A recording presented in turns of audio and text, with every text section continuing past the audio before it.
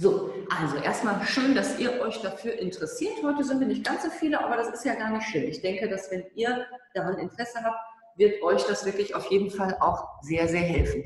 Ich hatte in der Mail an euch geschrieben, ihr könnt euch verschiedene Sachen zurechtlegen. Stuhl finde ich schon ganz wichtig. Ich hatte gerade schon so in die Kamera nochmal gezeigt, Tennisball oder ein Faszienball.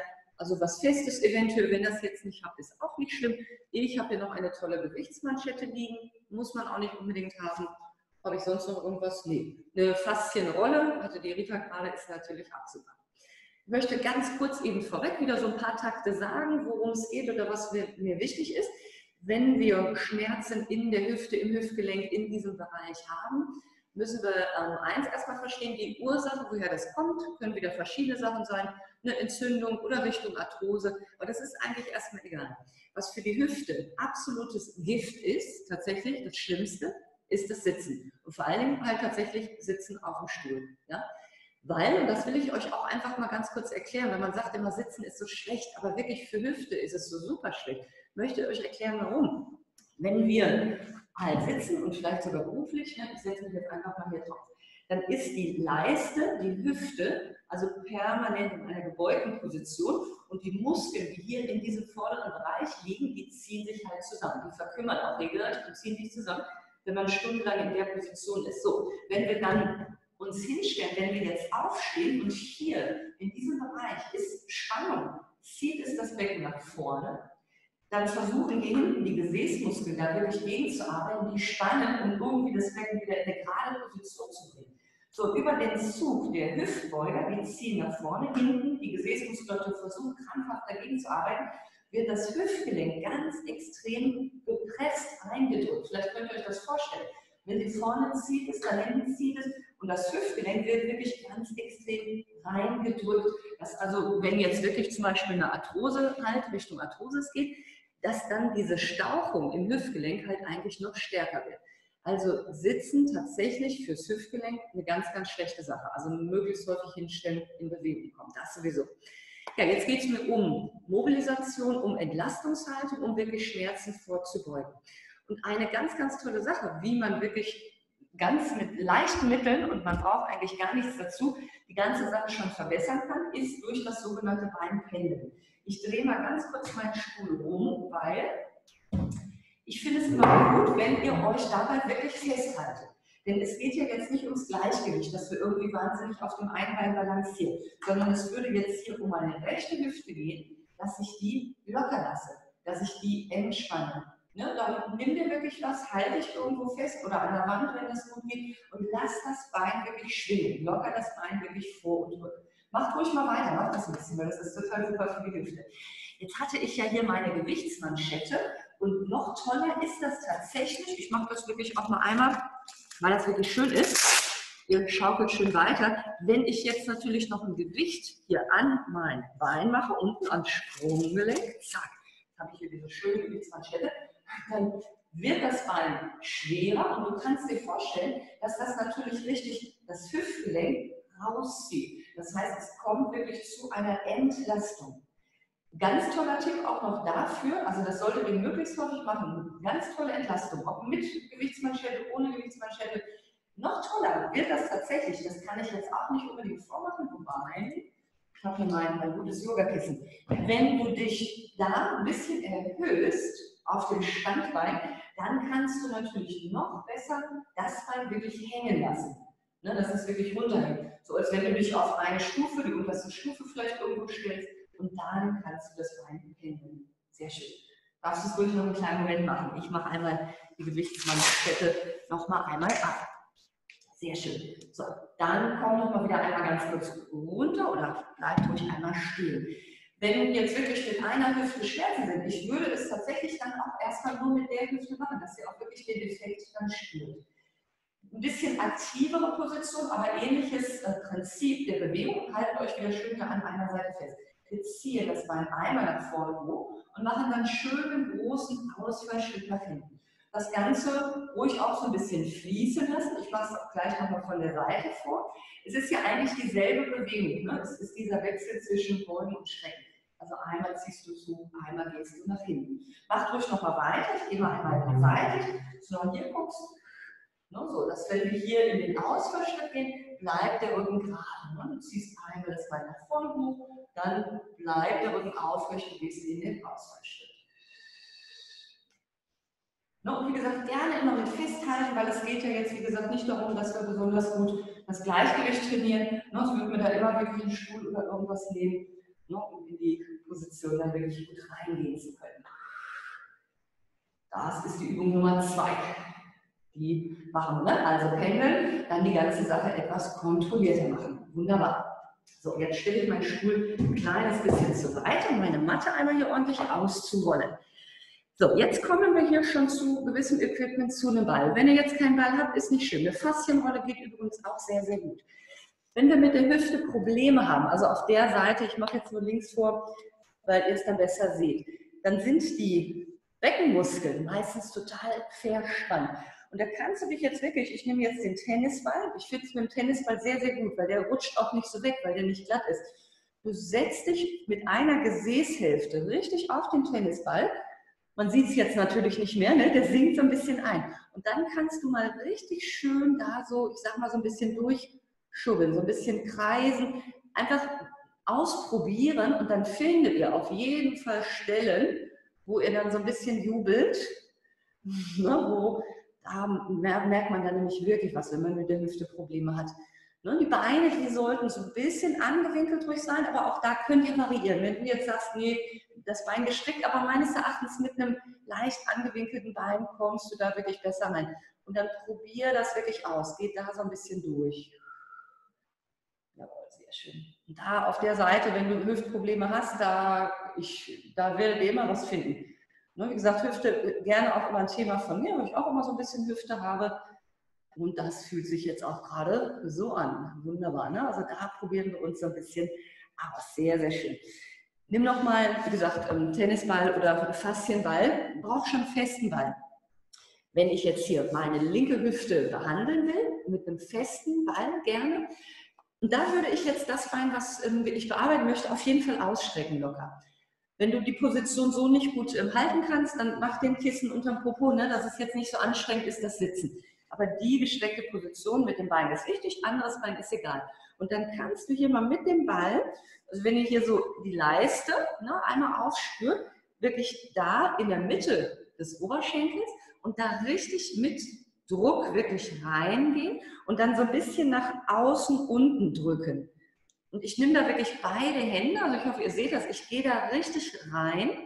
Und auch da muss man sich wieder so ein bisschen durchprobieren.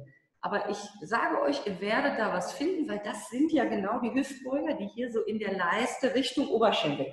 Also vom Druck, ich hoffe, man sieht es, ist es so ein bisschen in die Leiste rein, aber so in die Richtung, diagonal nach außen unten. So geht mein Druck hier mit dem Bein. Da kann man so richtig schön auch wieder sich ausprobieren. Ne? Da kannst du so ein bisschen auch nochmal wandern, sage ich jetzt mal so. Da wirst du auf jeden Fall auch fündig. Nur ne? wie gesagt, nimm den Kissen unterm Popo, dass die Position halbwegs bequem ist. Jawohl, wunderbar. Ah, da ist wirklich, also ich habe im Moment auch gerade wieder ein bisschen Hüfte, die linke, die wird jetzt direkt schön behandelt. Also Tennisball, muss ich euch ganz ehrlich sagen, Tennisball kann man so viele super Sachen machen. Ich meine, der kostet echt nichts, sage ich jetzt mal so. Ne? Solltet ihr euch auf jeden Fall anschaffen. Der passt in jede Handtasche, der nimmt nicht viel Platz weg und du hast wirklich erste Hilfe für so viele Sachen ja auch, ne? Rücken, Schulter und so weiter. So, da einmal schön durchmassieren. Wunderbar. So, jetzt legen wir den noch mal einmal kurz weg. Ja, dann eine ganz, ganz tolle Dehnübung für den Hüftbeuger. Die kennt ihr zwar alle, die wird aber ganz häufig, da ist ein bisschen falsch ausgeführt. Würde ich mir auf jeden Fall auch wieder einen Stuhl so ein bisschen rannehmen, dass du dich irgendwo festhalten kannst, denn es geht nicht ums Gleichgewicht, es geht darum, dass wir uns auf die Position konzentrieren können. Jetzt bin ich mit meiner rechten Hüfte wieder vorne, ist ja wurscht. Also die Hüfte, die ich behandeln möchte, da bleibt das Bein stehen. Wenn dir das mit dem Knie zu hart ist, leg den Kissen drunter, dass es nicht unbequem ist. Jetzt muss hier der Ausfallschritt gar nicht besonders groß sein. Wenn der Fuß so ein kleines bisschen weiter vorne steht als das Knie, ist das völlig in Ordnung. Und jetzt ist ja eben der Punkt, immer dieses mit dem nach vorne lehnen. Da passieren schon so viele Ausweichbewegungen. Das, was wir eigentlich machen müssen von hier, ist lediglich das Becken absolut aufzurichten. Also denke wirklich, du ziehst das Steißbein runter und kippst das Becken nach hinten. Aber wirklich mit aller Kraft, zieh den Bauch an, denk an das Pilates machen. So, und wenn du das wirklich machst, ich mache es nochmal so ein bisschen übertrieben, dass ihr wirklich seht, um was geht es, um diese Bewegung. Ich denke, man kann es ganz gut sehen, ne? diese Aufrichtung. So, und wenn du das machst, dann brauche ich gar nicht, wer weiß wohin, nach vorne, nach hinten oder sonst wo. Bin in dieser Position, leg dir ein Kissen unter das Knie, dann kannst du da nämlich auch eine Minute oder so bleiben und dann richte dein Becken auf, dass du wirklich spürst, wie ganz effektiv hier die Leiste wirklich rausgezogen wird. Sehr schön. Ne? Und ich hoffe, ihr merkt das. Und das ist eben die Position. Ich würde also gar nicht so viel mit vorne und hinten und tralafitti. Stabile Position, Becken kippen, spür da rein und dann kommt da nämlich richtig schön was an. Sehr schön, wunderbar. So, ja, was auch noch so eine Sache ist, die man auf jeden Fall ähm, mobilisieren sollte, also die Hüfte kann ja ein bisschen mehr als beugen und strecken. Ne? Wir haben jetzt bisher so im Beugen und Strecken gearbeitet. Rotation. Das Hüftgelenk hat eigentlich auch noch eine ganz gute Rotationsmöglichkeit. Da zeige ich euch jetzt drei verschiedene Möglichkeiten, die eigentlich alle das Gleiche machen. Und da könnt ihr dann so ein bisschen mit ausprobieren, was für euch dann die beste Position ist. Wir fangen einmal in der Rückenlage an und legst dich auf den Rücken, hältst die Beine locker angewinkelt. So. Und da hätten wir jetzt Rotation, wäre einmal Innenrotation, wenn du die Knie zusammenhältst und versuchst, die Unterschenkel richtig weit nach außen zu öffnen, sage ich jetzt mal so. Und die Gegenbewegung ist, wir bringen die Fußsohlen zusammen und drücken die Knie nach außen. Dann haben wir also einmal Innenrotation, einmal Außenrotation. Sehr schön. Ne? Einfach mal ausprobieren, einfach mal spüren. Wenn du gleich sagst, oh, das ist in der Position aber ganz komisch, fühlt sich nicht gut an, ich zeige euch noch zwei andere Positionen, wo wir das Gleiche machen. Und dann kannst du im Prinzip dir aussuchen, in welcher Position du das machst. Aber das ist in Innen- und Außenrotation ganz wichtig auch. Die müssen wir mit mobilisieren. So, das war Ausgangsstellung 1. Jetzt können wir das Gleiche aus einer Seitlage machen. Da winkelst du die Beine locker an, legst dich einfach bequem auf die Seite. Bei der Seitlage, das ist immer nicht so meine Lieblingsposition dafür, weil da kann sehr schnell passieren, dass du gleich einfach nur hier dein Becken hin und her schiebst. Und das soll eigentlich nicht sein. Denn wir wollen ja auch hier eigentlich wieder das Gleiche machen, nur jetzt mit einem Bein. Also einmal Knie zusammen, einmal Ferse zu Ferse, also das Knie öffnen. Dann haben wir auch wieder Innen- und Außenrotation.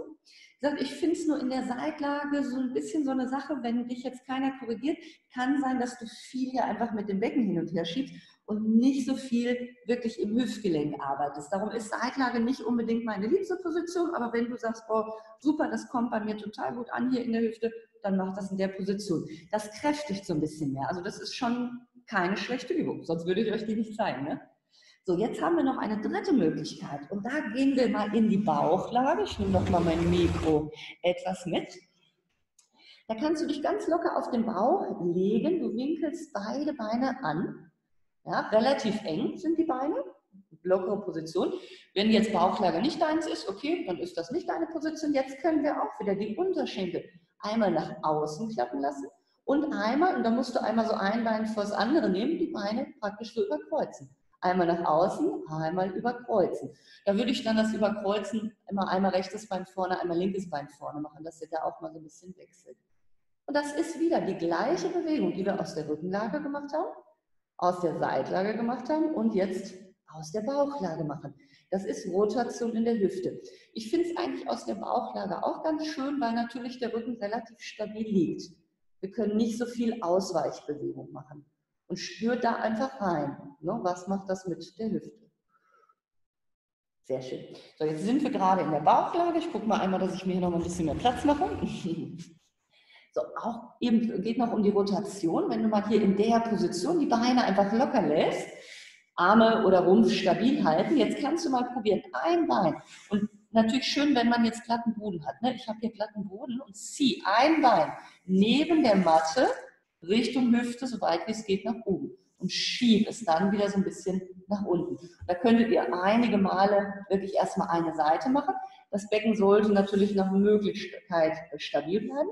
Wenn dir das mit dem Knie zu hart ist, könntest du sehr schön Handtuch hier unter das Knie legen, Dann kann man direkt so ein bisschen den Boden wischen, ne? oder wirklich so einen Lappen auf den Boden zu wischen. Schöne Position, um den Boden zu wischen. Sehr schöne Übung. Das ist jetzt allerdings nur die Außenrotation, aber macht ja nichts, die ist ganz, ganz wichtig. Ruhig einmal die andere Seite auch ausprobieren. Ziehst das Bein angewinkelt, wirklich du ziehst es ne, über den Boden, Becken und Rücken bleibt stabil. Und gerne ein Handtuch oder so drunter legen, wenn euch das sonst zu hart ist.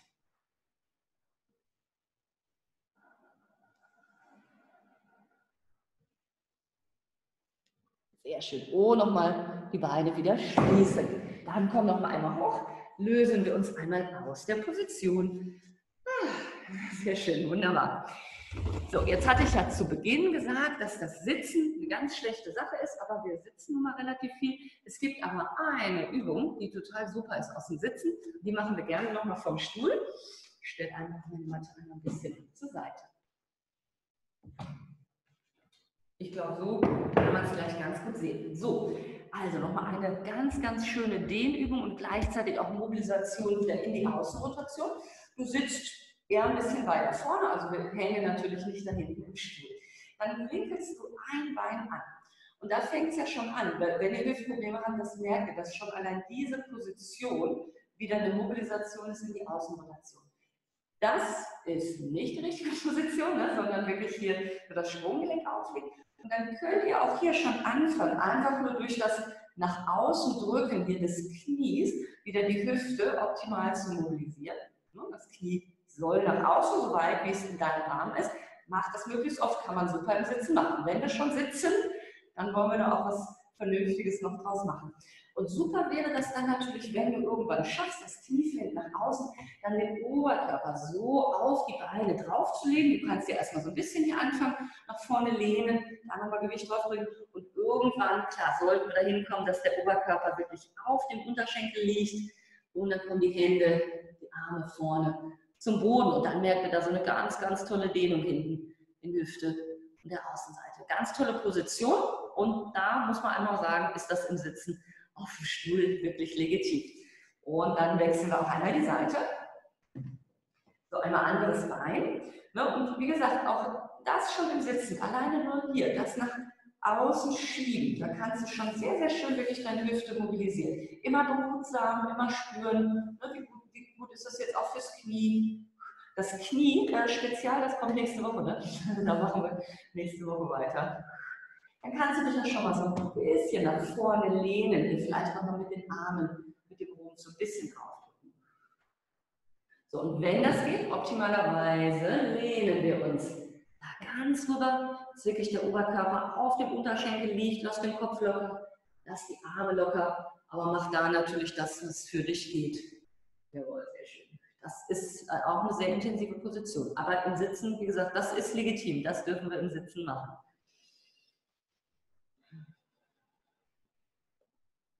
Und dann richte den Rücken nochmal auf. Sehr schön locker die Beine aus. Ich gehe nochmal hier auf meine Matte, weil das immer ein bisschen besser ist, hier unten zu sein, als auf dem Stuhl zu sitzen.